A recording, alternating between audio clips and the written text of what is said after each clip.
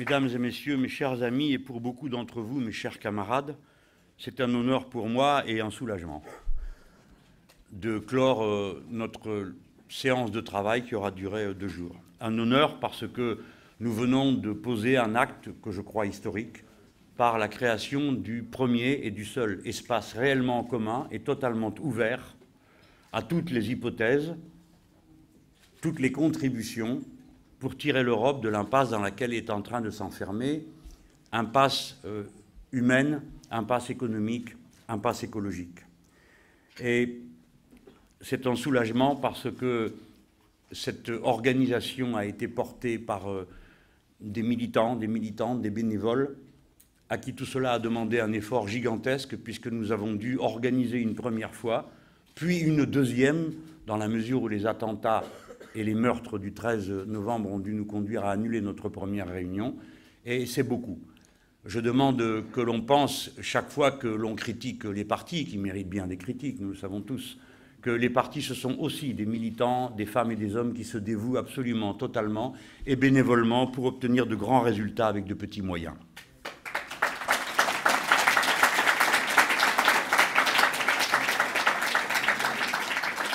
Je souhaite à l'espace commun que nous venons de créer, qui s'appelle Plan B, pour faire un clin d'œil et peut-être même un pied de nez à tous ceux qui prétendaient qu'il n'y avait qu'une seule politique possible en Europe et qu'il n'y en avait pas d'autre. Vous avez pu voir pendant deux jours que bien d'autres possibilités se présentent devant nous, bien d'autres modèles de développement et de progrès humain se présentent et que celui qui est mis en œuvre aujourd'hui n'est naturellement non seulement pas le seul, mais sans doute le modèle le plus détestable parmi ceux qui peuvent être proposés à la collectivité humaine.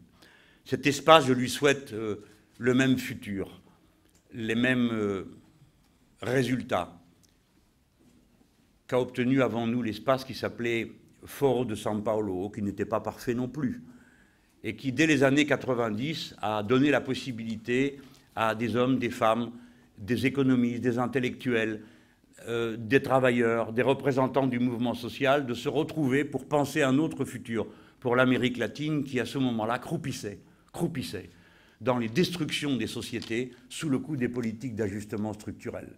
Les Européens sont souvent tellement orgueilleux et imbus d'eux-mêmes qu'ils se croient uniques, irremplaçables et toujours les premiers en toutes choses. Pas du tout.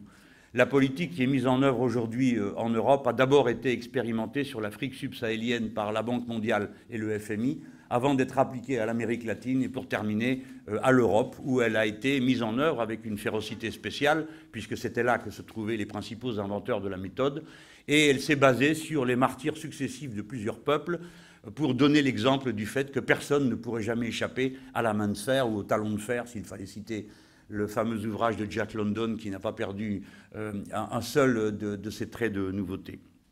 Bref.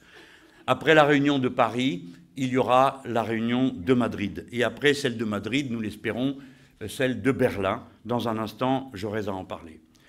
La condition pour que notre espace plan B vive et puisse continuer, s'affermir, s'enrichir de sa propre expérience, c'est qu'il reste ce qu'il est aujourd'hui, totalement ouvert, sans a priori politique contre qui que ce soit, de quelque courant que ce soit, du courant progressiste, du moment que la condition initiale est acceptée, dans le cadre des traités budgétaires européens, aucune politique progressiste n'est possible.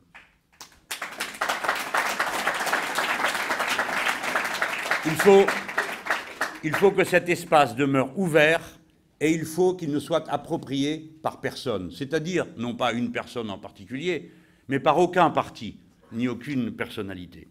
C'est pourquoi nous avons eu tant de plaisir à être placés dans la période où nous avons convoqué cette première conférence sous l'autorité morale tutélaire de Zoé Constantipoulou, qui, euh, en tant que présidente de l'Assemblée grecque, nous a semblé être une image extrêmement représentative de ce que nous sommes. Il se trouve qu'elle n'est membre d'aucun parti, ce qui nous facilite à tous euh, l'adhésion à sa personne, mais surtout parce qu'elle a incarné euh, ce Parlement dans cette première ère de l'époque Syriza, et on peut dire première et dernière, car il reste à admettre l'idée que ceux qui se nomment aujourd'hui Syriza ne correspondent pas à ce que nous avons connu au point de départ. Mais en attendant, c'était ce moment sublime que nous avons tous vécu, où nous avons cru que l'histoire de l'Europe et donc l'histoire du monde allait être renversée une nouvelle fois par le peuple qui a inventé la démocratie et l'a mis le premier en application. L'histoire a tourné autrement, mais l'inépuisable espérance qui est la nôtre, l'inépuisable volonté de combat qui nous anime, voyez-vous, euh, ne cédera jamais. Et Zoé est une incarnation de ces personnes qui ne sacrifieront jamais leur position, leur éminence à leurs idéaux. Alors, une fois ceci dit, je voudrais dire combien je regrette l'absence de temps et de temps de personnes. Voyez-vous, où sont les amis de la démocratie, du libre débat, de l'enthousiasme européen Comme j'aurais eu plaisir à voir ici des oui-ouistes qui seraient venus écouter et découvrir que non, les partisans de plan B ne sont pas tous des animaux hirsutes, bestiaux, incapables de penser le futur, qu'il y a là des gens extrêmement instruits, des gens qui ont eu de grandes responsabilités, Zoé comme présidente du Parlement, mais également des ministres des Finances comme Oscar Lafontaine ou comme notre camarade euh, Fassina. Non, vous n'êtes pas venu entendre tout ça. Vous n'êtes pas venu discuter avec nous. Pourtant, cette réunion vous était ouverte, on vous l'a dit. Ah, comme c'est dommage. En tout cas, moi, je peux dire une chose. Je suis prêt à participer avec mes camarades, Jacques Généreux et les autres, euh, à n'importe quelle réunion qu'organiseraient les socialistes ou euh, euh, leur variante de droite que sont les républicains, ou qui on voudra. Nous sommes prêts à aller partout, expliquer pourquoi le seul projet soutenable pour le futur de l'Europe et la coopération des peuples, c'est de rompre avec les actuels traités. Nous le proposerons avec modestie, car nous ne sommes pas gens arrogants, nous nous proposerons des solutions pour rappeler que dans le pays du doute méthodique, puisque nous sommes la patrie de Descartes, dans le pays du doute méthodique, ah, quel beau jour ce serait que celui où, un instant, une seconde, une milliseconde, ils auraient un doute dans la muraille de leur certitude d'agir pour le bien des autres, fût-ce par la force. Alors, puisque nous sommes les avant-gardes, ça se trouve comme ça, dans une ligne du futur, puisque nous sommes euh, cette petite flamme de la liberté inépuisable, en tout cas de la liberté de l'esprit. Nous n'accusons pas les autres d'être des ennemis de la liberté, mais de la liberté de l'esprit, de la liberté de conscience, qui après tout est la mère de toutes les libertés. Ma pensée se tourne, et je crois exprimer la pensée de beaucoup d'entre vous, vers ceux qui, en ce moment, sont en train de se réunir aussi pour la défense de la liberté, que sont nos camarades du HDP en Turquie qui concluent aujourd'hui leur congrès et où beaucoup d'entre nous sont représentés.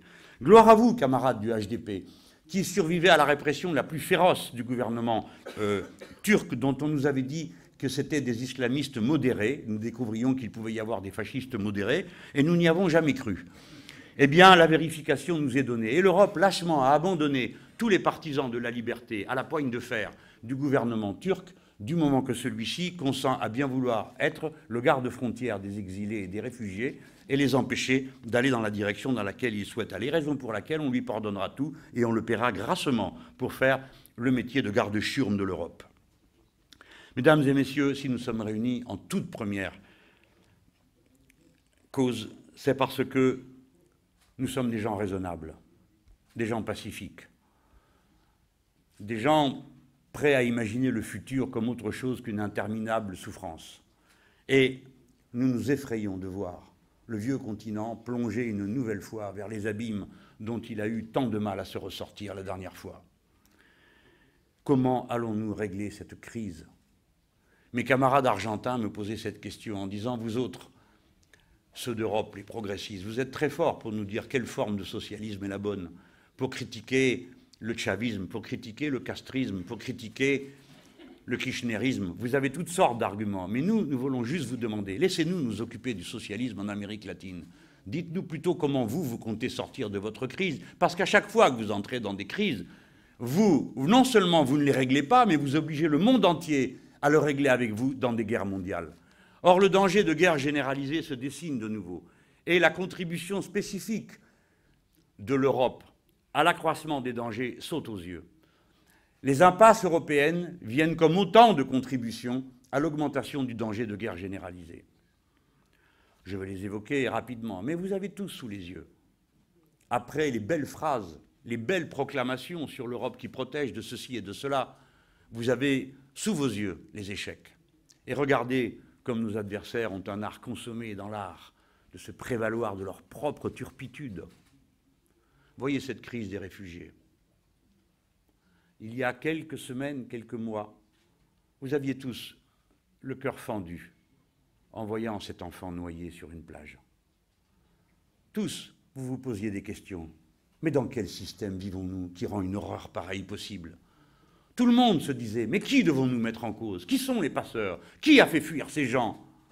Tandis que déjà grondaient ici les xénophobes, les nationalistes, qui passant outre toute compassion humaine, disaient qu'on les jette à la mer, qu'on les repousse, nous n'en voulons pas. Et nous nous disions, mais c'est vous qui les faites partir, avec vos politiques, avec vos guerres. Vous les faites partir et ensuite, quand ils arrivent, vous voulez les rejeter. Et vous vous prévalez du fait qu'ils viennent pour nous appeler à les rejeter et pour exciter entre nous le racisme et le mépris humain. Vous souvenez-vous comment, devant cette image terrible, une conscience avait cru, grandi, s'était fortifiée dans l'analyse des causes profondes qui produisent une telle situation Nombreux étaient ceux qui se disaient Mais oui, c'est vrai, la misère ne tombe pas du ciel, la guerre non plus. Elle vient des rapports sociaux humains, de l'exploitation, de l'impérialisme. Les consciences avançaient. Et aujourd'hui, l'image du réfugié qui nous est proposée de manière substitutive, c'est celle du violeur de Cologne, qui vous permettrait dès lors de haïr et de manquer à tous vos devoirs de compassion parce que vous identifieriez ces milliers de réfugiés à ces violeurs. Et vous êtes sommé de répondre à la question de savoir ce que vous en pensez. Mais quelle impudence d'oser nous demander ce que nous en pensons. Nous pensons que nous condamnons le crime, et le viol est un crime, et nous condamnons le crime, même quand il y a des circonstances atténuantes, et dans ce cas, il n'y en a pas. Nous condamnons le crime, mais nous condamnons tous les criminels. Et nous ne réservons pas nos condamnations à certains crimes. Nous les condamnons tous. Et nous voulons en éteindre la cause. Nous sommes d'accord pour condamner le crime, nous ne sommes pas d'accord pour l'imputer à une nationalité ou à une religion, comme si nous ne comptions pas, nous aussi, des criminels dans nos sociétés dites développées et avancées. Et ce que je dis ne tient pas lieu de circonstances atténuantes. Les violeurs doivent être châtiés rudement et doivent être châtiés de la même manière tous ceux qui contribuent à quelque crime que ce soit, ici ou là-bas. Et les criminels qui déclenchent les guerres, les criminels qui déclenchent les souffrances, les criminels qui déclenchent la mort dans nos pays par les politiques d'austérité, qui fait que l'espérance de vie effective recule dans tous les pays développés, ceux-là aussi doivent être condamnés et punis cruellement et sévèrement. Disons que sévèrement suffira. Les impasses, vous venez de le voir dans cette crise des réfugiés. Regardez la puissante, l'importante bureaucratie européenne qui sait tout sur tous les sujets, les têtes d'œufs qui pullulent à Bruxelles, à Strasbourg, qui savent pour nous ce qui est bon, comment il faut l'organiser, mieux que nous, qui ne sommes que des barbares et ne comprenons rien aux besoins du progrès. Regardez cette masse immense d'insectes bureaucratiques qui ont à gérer 120 000 personnes, ou 800 000, hmm, et qui en six mois ont réussi à en relocaliser 297 en point, et c'est tout, sur les 120 000 qu'ils s'étaient donnés comme objectif. Voilà quels sont ces puissants, ces importants, qui prétendent matin, midi et soir que nous vivrions mieux sans État, et au moment où est fait appel précisément à la puissance publique, sont eux-mêmes l'incarnation qui sont incapables de faire face au moindre problème, parce qu'ils ne sont portés par aucune volonté, par aucun objectif. Sinon, la dérégulation, la désorganisation de nos sociétés en vue de capter sur tous les sujets des profits. Et c'est leur unique horizon mental et humain.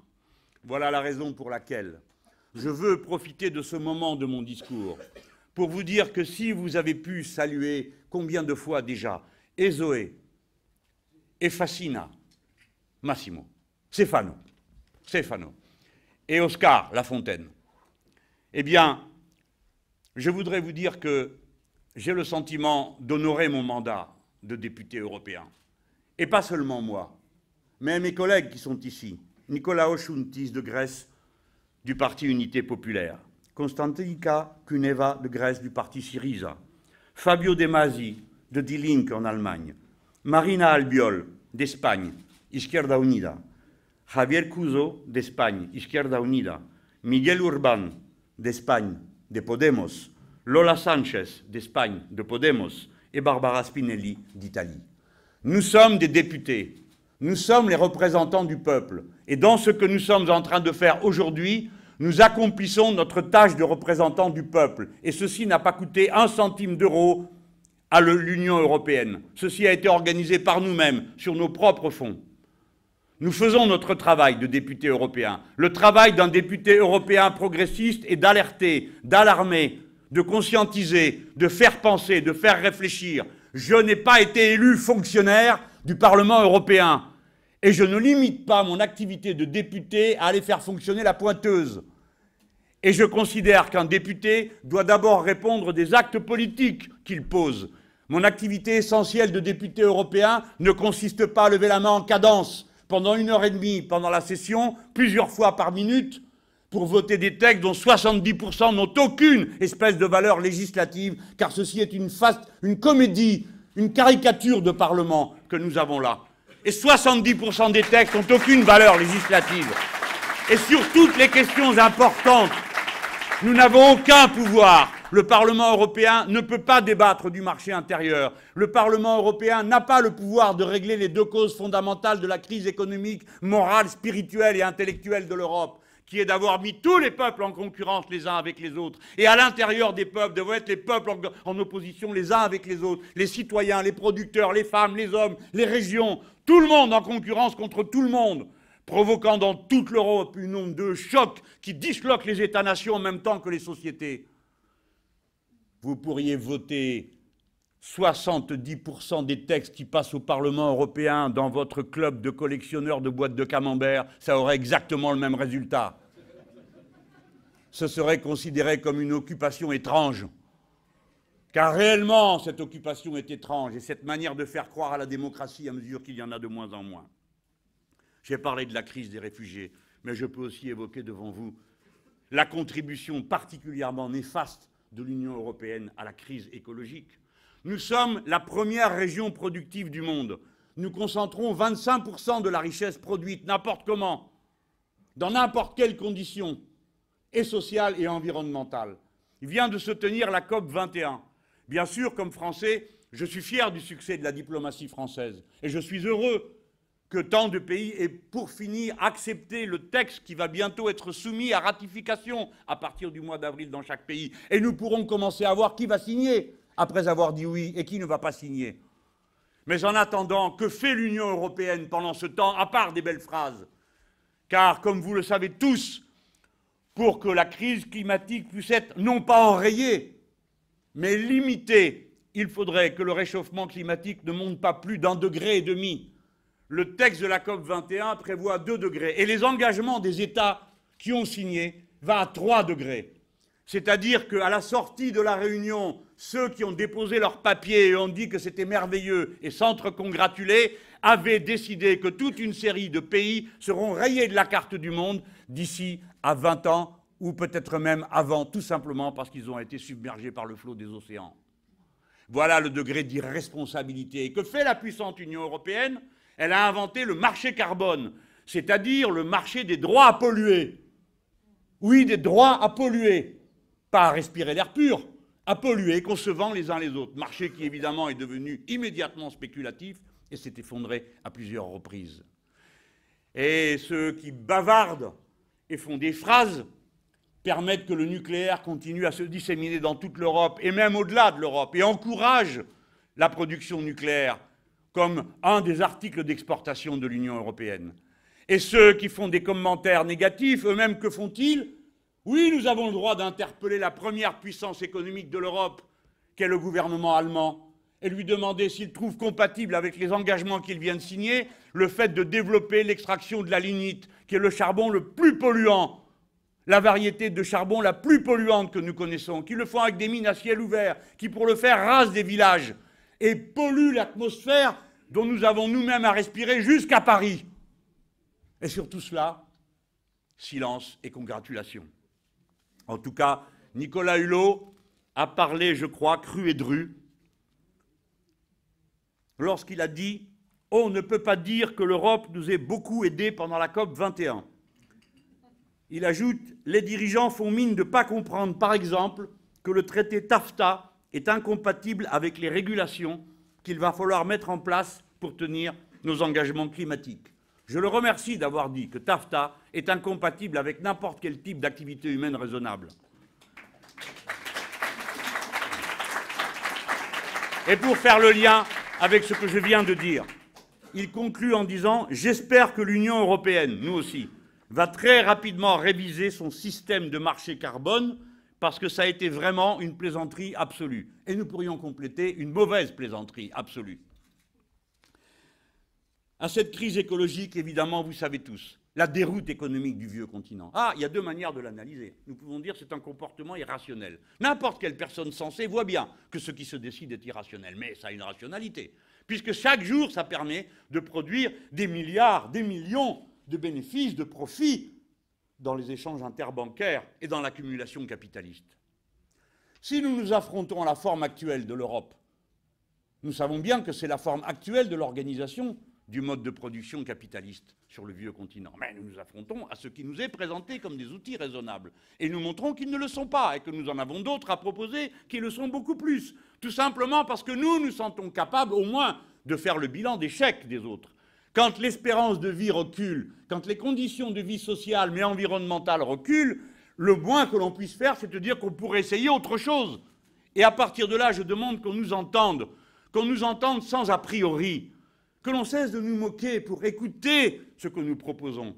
Comment nous faisons la démonstration qu'on peut vivre mieux avec une autre politique? Regardez, nous n'avons jamais cessé de dire qu'il fallait injecter des fonds publics pour faire redémarrer l'économie du vieux continent et que nous la ferons redémarrer dans des conditions écologiquement soutenables si nous nous donnons des objectifs de planification écologique. Que dis-je?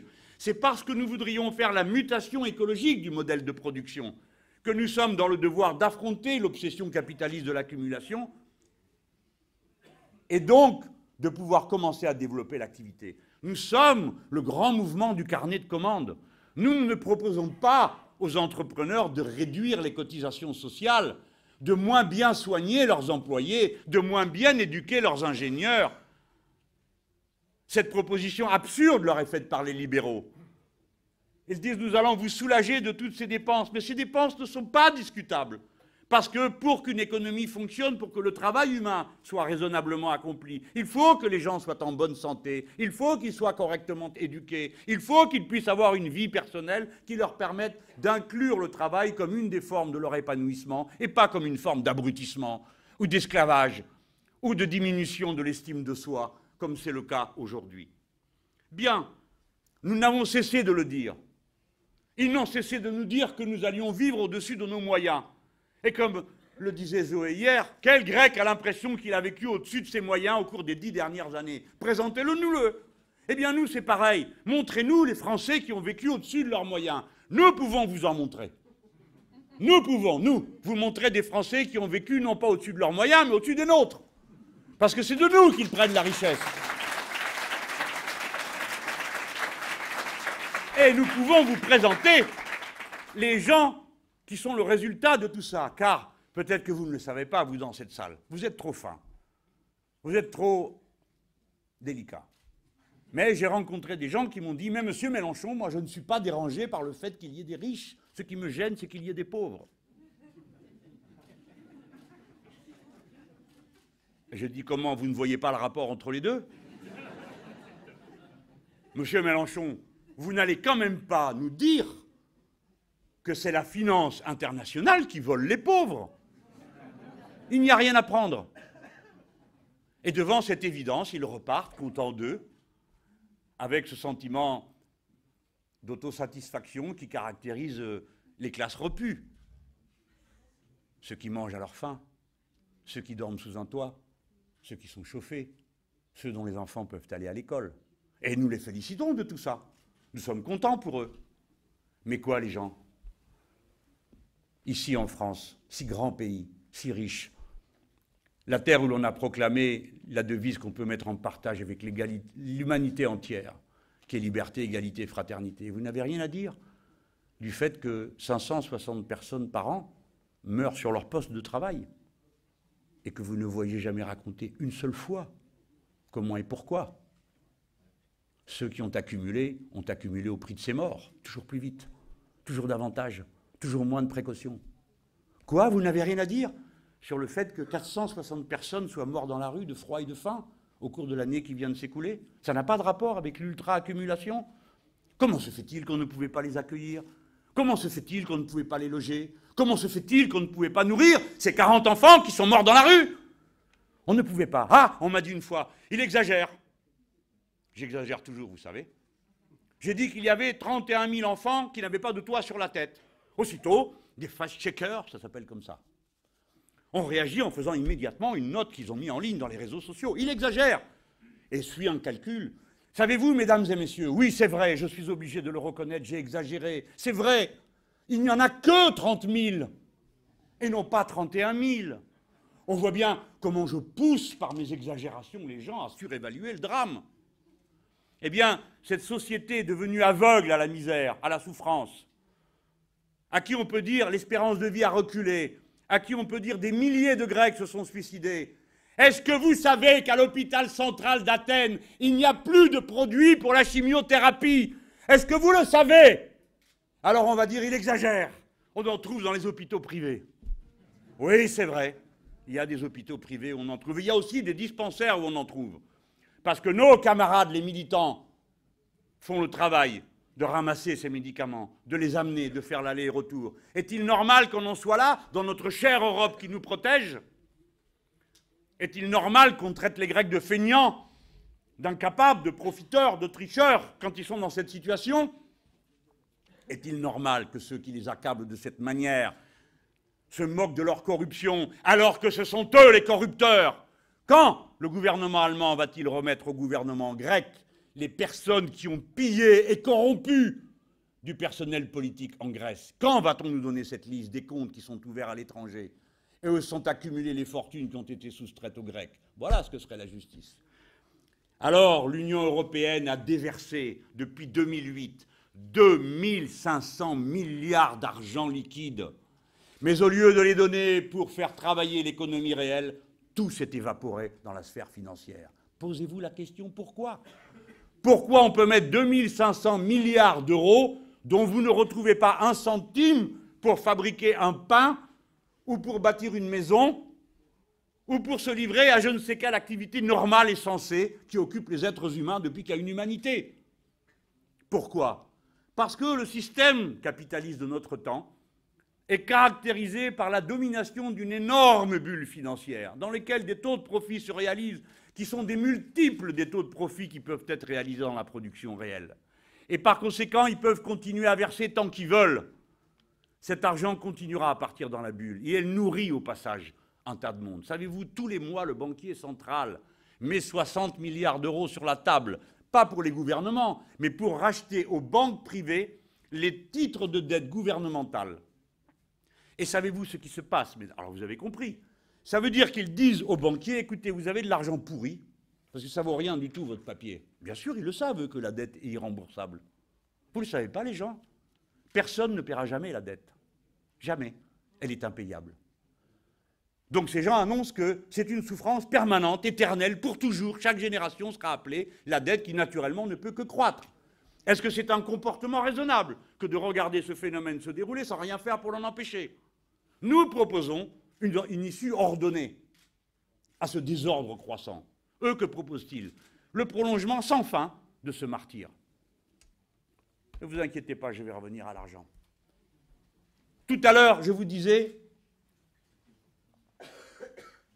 Ils ont recasé 247 personnes ou 292, j'ai oublié le chiffre, de la vague de réfugiés. Mais mes amis, vous souvenez-vous que c'est la deuxième vague de réfugiés?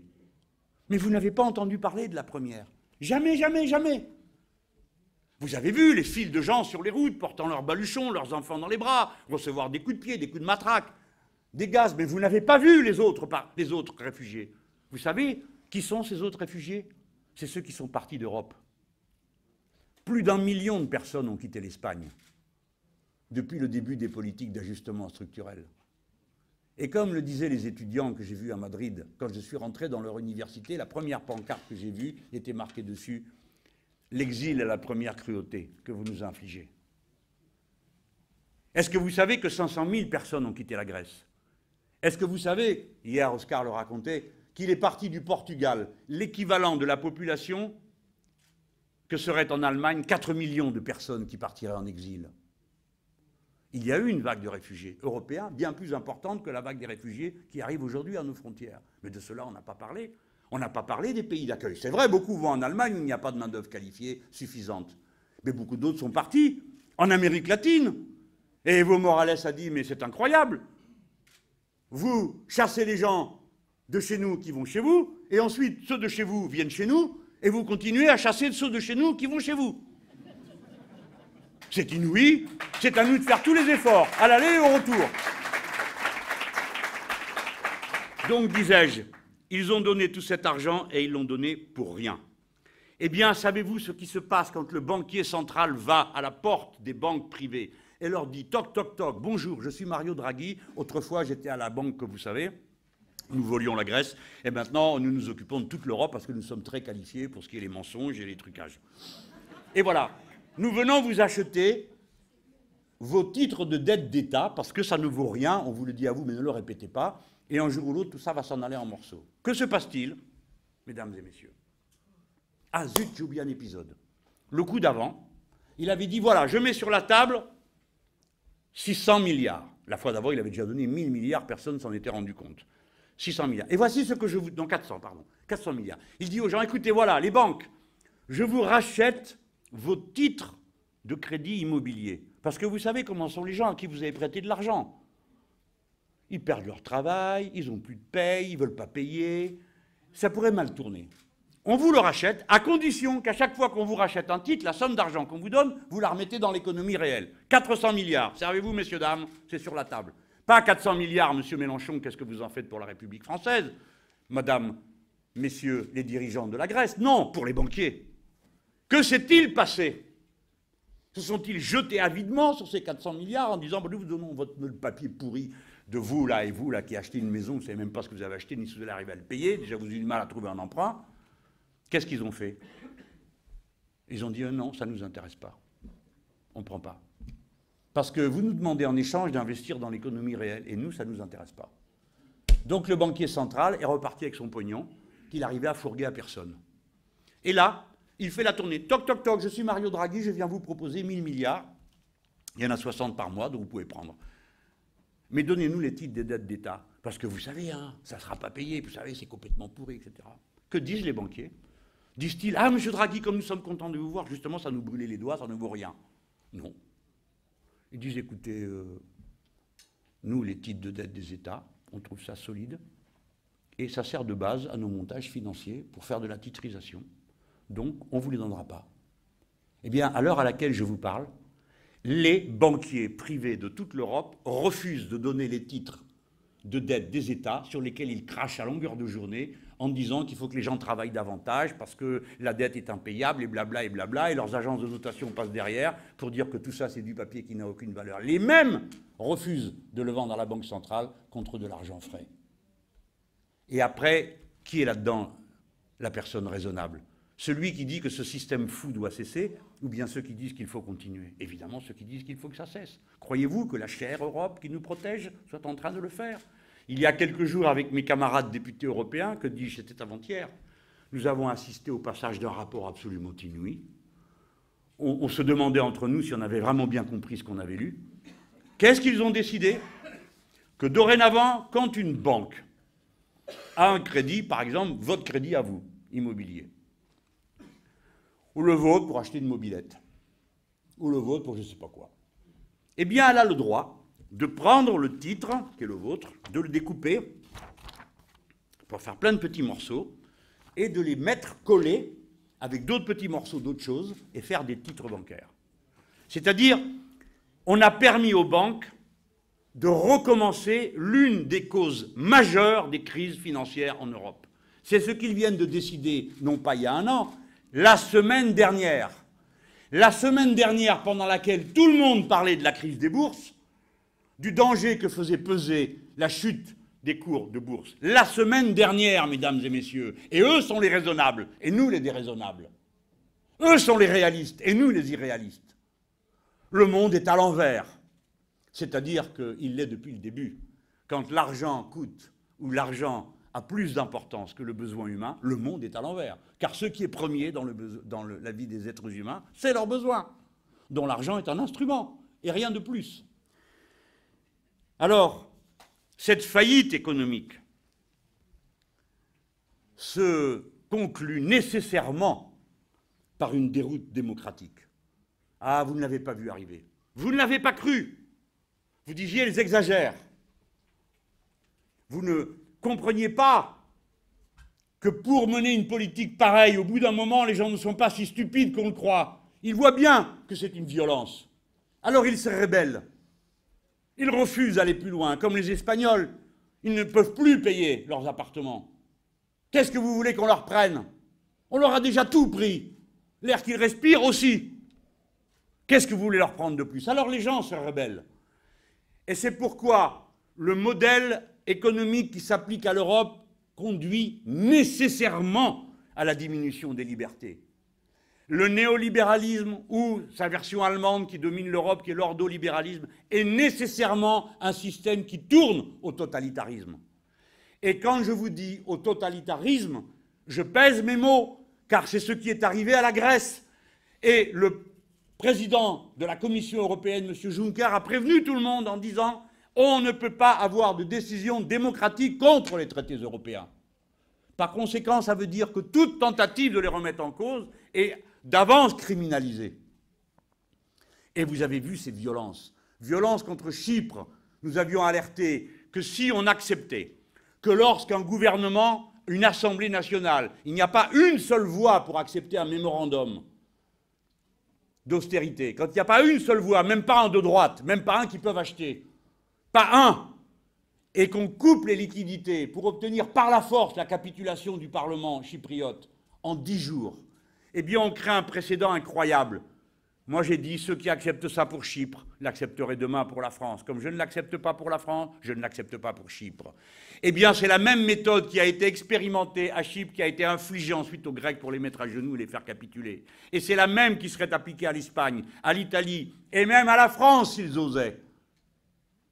C'est la même méthode, c'est une violence totale, c'est un acte de guerre que de couper les liquidités d'un pays. Cela est classé comme tel dans les conventions internationales. Et ce n'est pas seulement dans les grandes questions que le viol de la démocratie se fait, il se fait dans tous les ordres invariants d'échelle. Qui a demandé que l'on supprime les échelons intermédiaires de la démocratie, que sont les communes, les départements et les autres organisations territoriales que connaissent nos pays d'Europe, qui les ont développées des fois depuis plus de mille ans? Car je rappelle que la fin de l'Empire romain, c'est aussi l'essaimage partout des cités et des citoyens qui étaient dedans. La structure de base de la liberté et de la citoyenneté en Europe, c'est la commune. Eh bien, c'est à la commune qu'ils ont commencé par s'attaquer, en demandant qu'on réduise le nombre pour réduire, comme ils disent, le millefeuille administratif, parce que vous avez l'habitude d'avoir la bouche pleine. Ils appellent ça un millefeuille. Mais qui a créé le millefeuille? Vous Il y avait des communes, des départements, des régions, tout le monde s'y retrouvait. Qui a inventé 10 000 structures bureaucratiques intermédiaires pour arroser un personnel politique irresponsable C'est vous Eh bien, revenons à des choses simples. Or, nous constatons que partout, il a été demandé de réduire les échelons d'administration locale, qui sont en réalité des échelons de démocratie. C'est ce qui s'est passé en Grèce. Et le coup de force en Grèce, sous le gouvernement de droite, avait servi de référendum pour faire passer le premier mémorandum d'austérité. C'est Zoé qui nous a expliqué ça. Et comme c'est lucide, eh bien, chez nous, c'est pareil. François Hollande avait inventé une première loi de réorganisation et de simplification. Avant même qu'elle soit appliquée, il l'a réformée. Et nous voici réduits à 13 régions que personne ne connaît, ne sait où il habite, ni de quoi on parle. Voilà comment la démocratie a reculé d'un cran.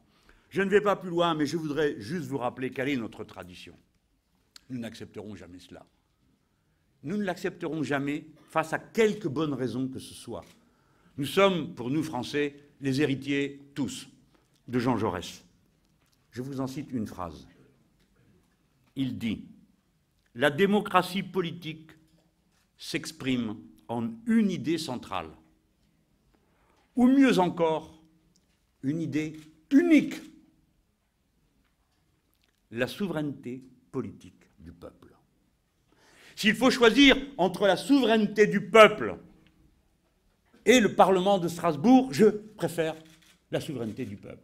S'il faut choisir entre l'euro et la souveraineté du peuple, je préfère la souveraineté du peuple. Parce que je suis un républicain, un démocrate et un homme du camp du progrès, comme vous tous ici, hommes et femmes, vous l'êtes. Dans ce choix, nous tranchons toujours du même côté, du côté de la démocratie, du grand nombre et du peuple.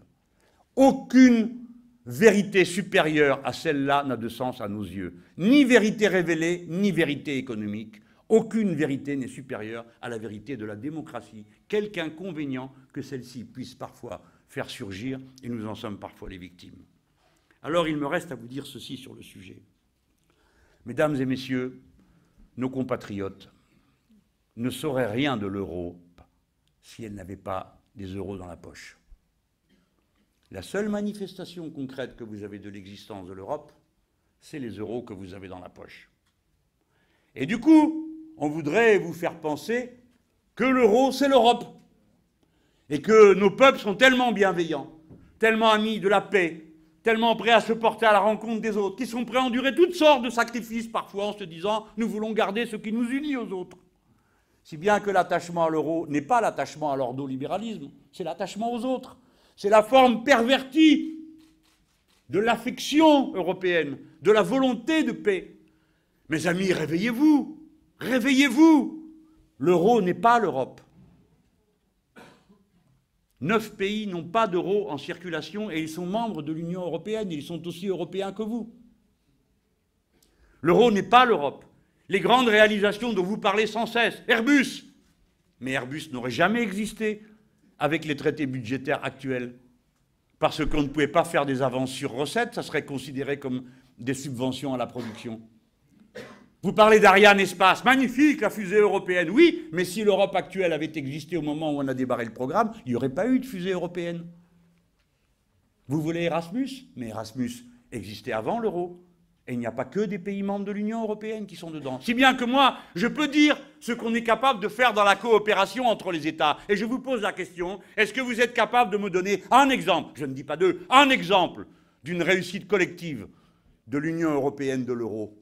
Dites-moi une belle chose que nous ayons fait pour faire avancer le progrès, l'humanité, la culture, que sais-je, l'éducation. Un seul exemple. Non, vous avez tout démoli, tout transformé en marchandises. Et le peu qui reste, vous voulez encore le transformer en marchandise. Vous êtes des névrosés du marché. Si bien, l'euro n'est pas un petit bout du cœur des autres Européens, mais un petit bout de la chaîne par laquelle vous êtes tenus. Eh bien, c'est cette chaîne que nous voulons rompre. Nous voulons le faire de manière raisonnable. Et nous pensons que nous sommes le camp des raisonnables. Il y a plusieurs plans B, mes amis. Il n'y en a pas qu'un seul. Il est très important pour nous, qui sommes ici souvent candidats à des élections, qui espérons gouverner nos pays, il est très important pour nous d'avoir euh, en magasin plusieurs hypothèses que nous pouvons tester, car nous savons bien, le rapport de force n'est pas le même selon que l'on est la Slovénie ou la Grèce, 2% de l'économie européenne, ou que l'on est la France, 18% de l'économie européenne que l'on est la France, qui a en main d'institutions financières françaises 20% de la masse circulante des euros. Ce n'est pas la même situation. Si bien que le plan B français pourrait être beaucoup plus audacieux que ne serait le plan B des Slovènes. Pas parce que les Slovènes manqueraient de courage, mais tout simplement parce qu'ils n'ont pas le bon rapport de force. Nous voulons ramener dans la conscience collective et citoyenne l'idée du rapport de force. Oui, vous feriez bien d'y penser. Vous autres qui me posez des questions, Regardez, vos amis au Portugal ont permis l'élection d'un gouvernement socialiste. Regardez, vos amis en Espagne, ils discutent pour éventuellement avoir un accord avec les socialistes. Monsieur Mélenchon, pourquoi ne faites-vous pas pareil? Parce que vous voyez, ça réussit à mes collègues, mais vous n'avez rien compris. Pour qu'au Portugal, le Parti socialiste, qui a été le larbin des politiques européennes, change d'attitude, il a d'abord fallu que nos camarades soit arrivés à un niveau électoral qui les rendait incontournables. Pour que nos camarades espagnols puissent mettre le PSOE, qui a été le caniche des politiques libérales européennes, il a fallu d'abord que Podemos et Izquierda Unida arrivent au point où ils en sont. Autrement dit, c'est en construisant le rapport de force qu'on change la réalité. Retenez cette leçon. Si la réalité vous semble changer d'une manière favorable en Espagne ou en Portugal, faites-en pareil dans tous les pays. C'est-à-dire permettez à nos partis de passer la tête haute et d'être assez puissants pour créer ce rapport de force. Pourquoi est-ce que je vous interpelle de cette façon? C'est parce que l'année 2017 va être une année clé pour le destin de l'Europe. Premièrement, parce qu'à la fin de cette année, vous n'en savez rien, personne ne vous en a prévenu ni informé. La conférence des cinq présidents, ça vous dit quelque chose? Allez, on y fort, comptons. Le président de la Banque Centrale Européenne, le président de l'Eurogroupe, le président du Conseil de gouvernement, le président permanent et le président de la Commission. Vous ne saviez pas qu'il y avait tous ces présidents? Rien que pour gérer l'Europe politique, il y en a trois. Le président du Conseil, le président de la Commission et le président permanent du Conseil. J'en ai pas oublié, j'espère. Trois. Il y a trois présidents. Ces cinq personnes-là ont fait une proposition. Vous n'êtes pas au courant? Mais qu'est-ce qui se passe dans ce pays? Qui est-ce qui a oublié de vous prévenir? Ceux qui sont absents aujourd'hui aussi? On ne vous a pas dit? Ces cinq-là vont proposer d'ici à la fin de l'année 2016 une nouvelle organisation de l'Europe et, dans un premier temps, d'ici à juin prochain, accélérer le processus d'intégration. C'est pas merveilleux? Et vous n'étiez pas au courant qu'un tel bienfait allait bientôt vous arriver. Et ensuite, ils vont proposer une nouvelle organisation des traités. Vous savez, ils vont recommencer à proposer de nouveaux traités qui aillent plus loin dans l'intégration de l'Europe qui nous protège. Eh oui, en 2017, mes chers amis, on ne vous en dira rien. Vous ne saurez rien jusqu'à la dernière minute. Comme pour le traité transatlantique, qui a commencé en 1996. Et avant que je me mette à le dénoncer avec mes camarades, que je le mette dans ma plateforme de 2009, et que quelques associations aient le courage en France d'en parler, alors que dès qu'on dit le mot Europe, tout le monde s'évanouit d'ennui. Parce que tout le monde sait que c'est un gros mensonge. Ça va, on est au courant. C'est bon. D'abord, personne ne comprend rien. Je viens de vous parler de cinq présidents. La plupart du temps, les gens ne comprennent rien aux institutions européennes. Eh bien, à l'époque déjà, nous étions si peu à dire attention, voici TAFTA qui arrive. Vous avez vu comme ils sont malins? Le truc a changé trois fois de nom. Ça s'appelait Grand Marché Transatlantique. Puis après, ça s'appelait TIPP. Puis après, ça s'appelait TAFTA. Et demain, ça montrera encore autre chose. Pour que vous ne sachiez plus où vous en êtes. Et les pauvres gens qui essayent de s'intéresser n'ont pas une vie entière à consacrer à s'intéresser et à suivre la langue glaireuse qui dégouline des textes européens. Ils n'ont pas le temps, et notre devoir est de faire cette information. Bref, en 2017, l'Europe va à nouveau traiter de son changement de constitution. Bien. Est-ce que vous y pouvez quelque chose? En principe, non.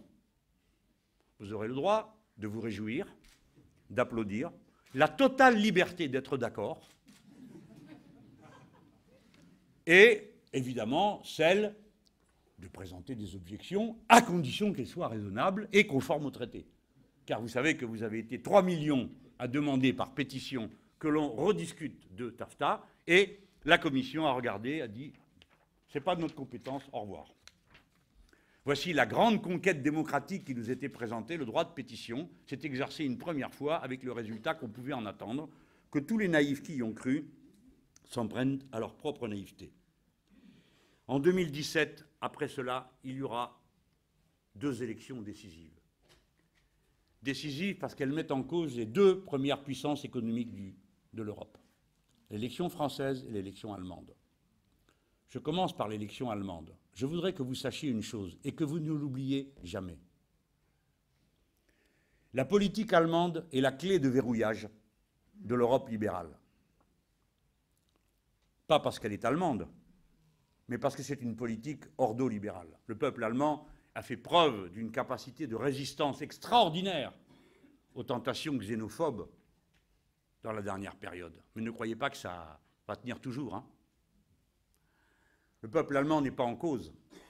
Il l'est dans la mesure où il consent à ce qu'une politique strictement conforme aux intérêts de la partie de sa population la plus âgée et la mieux nantie, c'est-à-dire ceux qui vivent par retraite, par capitalisation, oblige tout le reste de l'Europe à travailler pour eux, accumulant des excédents qui sont une honte, Parce que les excédents des Allemands, c'est la pauvreté des autres.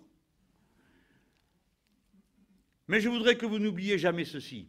À cet instant, maintenant, aujourd'hui, la crise européenne pourrait cesser. À une condition, que le Parti social-démocrate allemand sorte de la coalition avec la droite et accepte de constituer la majorité alternative qui existe sur les bancs du Bundestag aujourd'hui, avec les Verts et Die Linke. Il existe une majorité alternative qui pourrait mettre en œuvre une autre politique. Et c'est parce qu'ils ne veulent pas le faire et qu'ils préfèrent s'allier avec la droite que tout ça continue. De la même manière, nous étudierons avec soin la réponse qui est faite à nos camarades de Podemos par le Parti socialiste ouvrier espagnol. N'oubliez jamais que la théorie du moins pire, qui sert en général à élire de telles baudruches, se retourne ensuite à la mise en œuvre du pire que pire. Nous pensions, nous, que pire que Sarkozy, ça n'existait pas. Eh bien maintenant, nous pouvons mettre un nom, ça s'appelle Hollande. En tout cas, en France, nous l'avons constaté. Pour ce qui est de la retraite, pour ce qui est des salaires, pour ce qui est des conditions de vie, pour ce qui est des morts dans la rue, il y a pire. Nos amis des pays de l'Europe de l'Est, ils avaient une bonne blague autrefois. Ils disaient hum, Restons optimistes, le pire est possible. L'année 2017 est donc très importante parce que les deux peuples liés aux deux premières économies vont s'exprimer politiquement. Alors, mes chers amis, quelle stupeur, je ne serai pas long, je ne vais pas vous encombrer de nos histoires françaises, en plus beaucoup d'entre vous ont des casques sur la tête, et les traductions de tels imbroglios sont à peu près impossibles. Mais enfin, chacun de nos pays en regorge. Alors n'est-il pas incroyable que tout le monde soit en campagne dans ce pays, plusieurs de droite, d'extrême droite, de socialistes, c'est-à-dire tous les gens qui sont d'accord avec euh, le système de l'Union européenne, peu ou prou, et que ceux qui sont contre, eux, non. Ils devraient rester les deux pieds dans le même sabot à se regarder. Qui a la plus jolie cravate? Qui parle le mieux? Qui est le plus ébouriffé? Faut paraître sympathique. Qui va le mieux? Renouveler le spectacle Mais la question qui est posée, c'est qui va le mieux renouveler les idées et les pratiques. Si tous ces gens-là incluent Europe Écologie Les Verts, tous sont d'accord pour les traités budgétaires européens, tous pétarades d'allégresse à l'idée d'approfondir ce processus magique, qu'est-ce que nous avons à voir en commun? Ah si nous avons à voir en commun, nous sommes supposés appartenir au même code génétique historique. Et cela nous ferait obligation contre toute autre évidence. C'est la gauche, celle des beaux quartiers, qui trouve merveilleux de pouvoir passer d'un pays à l'autre sans avoir à faire de change, grâce à l'euro. Et d'avoir accès à des prix aussi confortables pour aller passer des vacances en Grèce, ou même en Tchéquie, vous savez. Non, ceci n'est plus notre camp. Nous n'avons rien à voir avec ces politiques-là.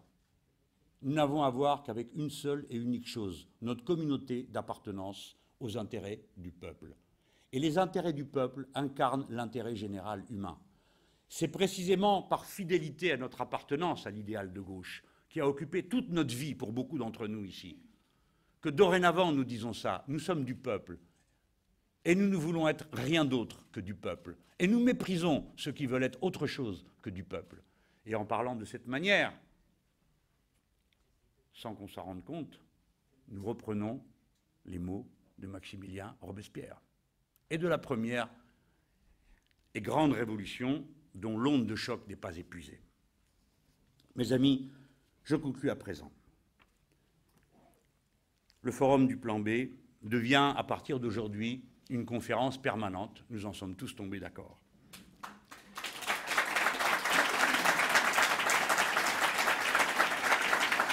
Elle aura une petite structure de coordination qui va nous permettre de passer le témoin d'un pays à l'autre dans les conditions les meilleures. C'est très difficile, camarades, mes amis, d'organiser une chose comme celle-ci. Il faut prévoir des équipes de traducteurs, il faut beaucoup de militants bénévoles, nos camarades espagnols ont ont, eu une vision plus, plus grande encore que la nôtre. Parce que nous, nous commencions. Alors, nous ne savons pas bien si ça allait bien se passer et comment le faire. Donc, nous avons pensé à une conférence dans laquelle euh, nous n'avons pas ouvert à tout le monde, à tout le public, euh, les, les, tables rondes. nous avons choisi un espace plus euh, restreint parce que nous nous sentions capables de porter un espace restreint et pas d'ouvrir directement. Nos camarades espagnols ont, à juste titre, dit si on réussit cette étape à Paris, alors on peut immédiatement voir plus grand, et moi je suis d'accord avec ça. Et ils ont ouvert. Mais ce qu'ils n'avaient pas prévu, je pense, c'est qu'à peine ils ont ouvert, en une journée, toute la liste d'inscriptions était pleine. C'est-à-dire, en une journée, il s'est trouvé des milliers d'Espagnols pour dire nous sommes intéressés à venir voir, et à participer, et à donner notre avis. Des citoyens, des citoyennes, des gens des mouvements sociaux, des syndicats, de tous les côtés, les gens arrivent. Vous voyez, vous autres, les médiacrates, si vous vous intéressiez à ce que nous racontons, eh bien peut-être que des gens s'intéressaient à ce que vous racontez. Ne serait-ce que pour entendre une voix discordante. Vous voyez, les Espagnols, ah, ce sont des êtres humains, n'est-ce pas? Ils sont éduqués. Eh bien ça les intéresse. En France aussi, ça intéresserait des milliers de gens d'assister à une vraie discussion sur ce sujet. Nos camarades espagnols vont avoir besoin de notre aide. Et d'abord, comme nous-mêmes, nous avons besoin de votre aide financière. J'espère qu'en sortant, vous allez ouvrir vos hérissons pour sortir les sous. Parce que vraiment, ça a coûté cher. Et c'est dur pour nous. Et je voudrais euh, saluer d'affection et de fraternité euh, le parti de gauche qui a mis tous ses moyens à notre disposition pour tenir cette conférence, dont les militants font le service d'ordre, l'organisation de ces deux journées. Vraiment, à vous tous, camarades et camarades, et vous, traducteurs, euh, un grand merci de tous les peuples qui sont représentés ici.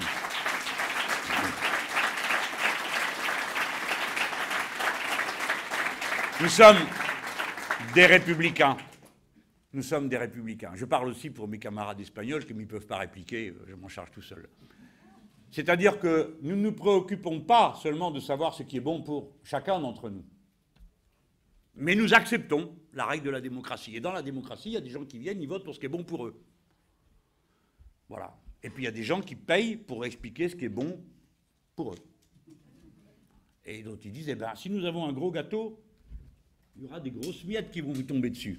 C'est pas mal, non? Tandis que si nous faisons des petits gâteaux, il n'y en aura pas pour tout le monde. C'est la vieille doctrine du capitalisme. Les riches engraissent les pauvres, comme chacun peut le constater en se promenant dans la rue. Alors, nous acceptons, parce que nous sommes républicains, donc démocrates, la loi de la majorité. Ça nous fend le cœur de voir des fois tant de gens disent Vous êtes fous, pourquoi vous votez comme ça? Si vous votez contre vos intérêts, vous votez pour des gens qui vont vous couper la gorge, vous votez pour des gens qui vous méprisent, qui vous pillent, qui vous volent, qui vous mentent, qui vous sautent à pieds joints dessus, et qui vous disent Vous allez gagner le loto! Dans tous les pays, le nombre de millionnaires augmente d'une ou deux personnes. Et vous n'allez pas nous faire une histoire parce qu'il y en a plusieurs milliers qui, eux, sombrent dans la pauvreté. Enfin, je vous ai déjà raconté tout ça. Nous acceptons. Mais nous, nous pensons d'abord à ce qui est bon pour tous. Voilà la règle que nous donnons. L'intérêt général humain est notre slogan. Alors, à Madrid, on va travailler à ça. Bon, pour clore mon discours, j'ai prévu de le faire d'une manière un peu lyrique et symbolique. D'abord, je vais appeler mes camarades espagnols, parce que c'est eux qui maintenant portent ça sur leur dos. Où ai-je mis ma liste pour que vous entendiez de nouveau leur nom? Voilà. Alors, Marina Albiol, si tu veux bien venir à côté de moi. Marina est assise devant moi au Parlement européen, donc je regarde comment elle vote quand j'ai perdu ma feuille. Javier Cuso, il est reparti, je crois, Javier. Hein? Il est reparti. Après, Miguel Urban, qui est député de Podemos, et lui, il est assis derrière moi à la place de Pablo Iglesias. Ensuite, Lola Sanchez, qui est députée espagnole évidemment, de Podemos.